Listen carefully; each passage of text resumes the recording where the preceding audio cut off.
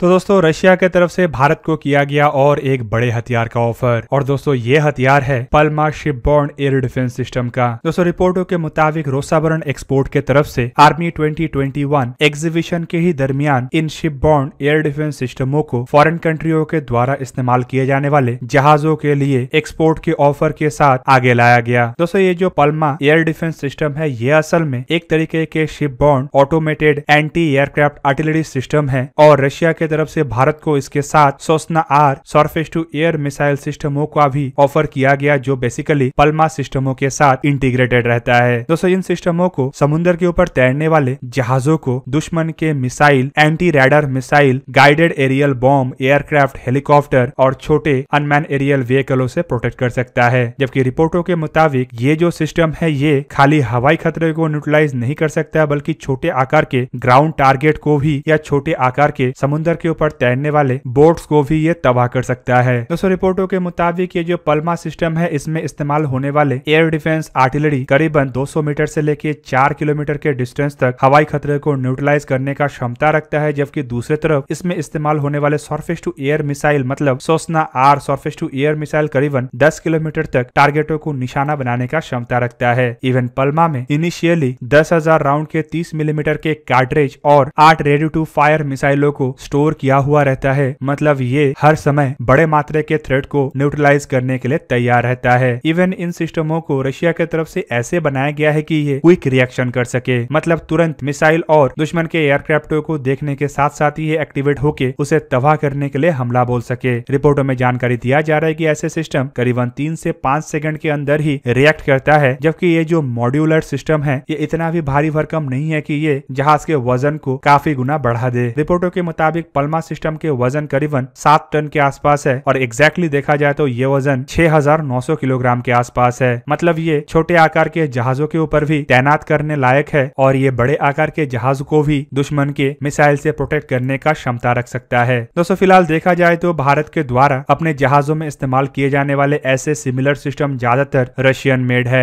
भारत अपने प्रोजेक्ट 15 ए कोलकाता क्लास के जहाज़ प्रोजेक्ट 15 बी विशाखापट्टनम क्लास के डिस्ट्रॉयर प्रोजेक्ट 28 कमोटा क्लास के फ्रिगेट सभी में ही 30 मिलीमीटर के A K six thirty close in weapon सिस्टमों का इस्तेमाल करता है, जो कि पल्मा जैसे ही एक 30 मिलीमीटर के एंटी एयरक्राफ्ट आर्टिलरी सिस्टम है, लेकिन दोस्तों इन सिस्टमों में किसी तरीके का सरफेस टू एयर मिसाइल नहीं होता है। भारत बेसिकली शॉर्ट रेंज के एयर डिफेंस मिसाइलों के रूप में भी रशिया के ही वेरी शॉर्ट रेंज मिसाइलों को अपने जहाजों के बेड़े के ऊपर इस्तेमाल करता है, जबकि मीडियम रेंज के मिसाइल के रूप में भारत द्वारा इसराइली मेड मिसाइलों का इस्तेमाल किया जा रहा है। ऐसे में संभावनाएँ तो ये भी है कि भारत को ऑफ़र किया गया। इस नए सिस्टमों को लेके भारत द्वारा चर्चा शुरू किया जाए, क्योंकि ये जो नया सिस्टम है, यह आने वाले समय में रशिया के ही द्वारा निर्माण किया हुआ ए के सिक्स थर्टी को रिप्लेस करने का भी क्षमता रखता है, और साथ में ये ए के सिक्स थर्टी से अधिक ताकतवर और अधिक आधुनिक होने की वजह से ये एक भारत के लिए बेहतरीन ऑप्शन भी हो सकता है। जबकि भारत द्वारा अगर ए के सिक्स थर्टी को रिप्लेस किया जाएगा तो यहाँ पे खाली रशिया का ही दबदबा नहीं रहेगा, बल्कि भारत जिस तरीके से अब रशिया से बाहर निकल के अन्य देशों के हथियारों को भी बड़े मात्रा में परचेस कर रहा है, ऐसे में अंदाज़ा लगाया जा रहा है कि भारत अगर ए के सिक्स थर्टी को रिप्लेस करने का इरादा बनाता है तो इसमें कई सारे अन्य देश भी भागीदारी का प्रयास करेगा, जिनमें अमेरिका से शुरू करके यूरोप के देश तक शामिल होगा। पर अगर इंडिजनाइजेशन को भी देखा जाए तो आपको पता चलेगा कि भारत अब कई तरीके के हथियारों का डेवलपमेंट कर रहा है, जिनमें हाल ही में खबर में यह भी आया था कि 30 मिलीमीटर के ऐसे एंटी एयरक्राफ्ट आर्टिलरी का भी डेवलपमेंट भारत की तरफ़ से किया जा रहा है, जो भारत एक क्लोज इन वेपन सिस्टम के रूप में भी तब्दील कर सकता है। तो दोस्तों, ये था आज का वीडियो। अगर आपको वीडियो अच्छा लगा तो इसे लाइक कीजिए और मेरे चैनल को सब्सक्राइब कीजिए और साथ में बना हुआ बेल आइकन को भी प्रेस कर दीजिए ताकि आप मेरा वीडियो देख पाए सबसे पहले। जय हिंद।